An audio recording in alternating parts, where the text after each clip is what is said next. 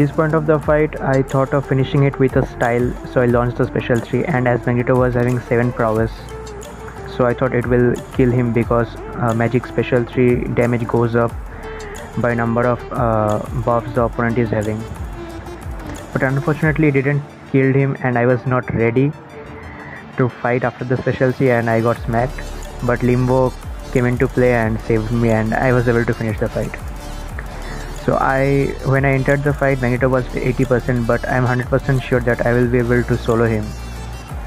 So hope you guys enjoyed the video. Kindly drop a like, comment, and please hit the subscribe button and also share it with your friends.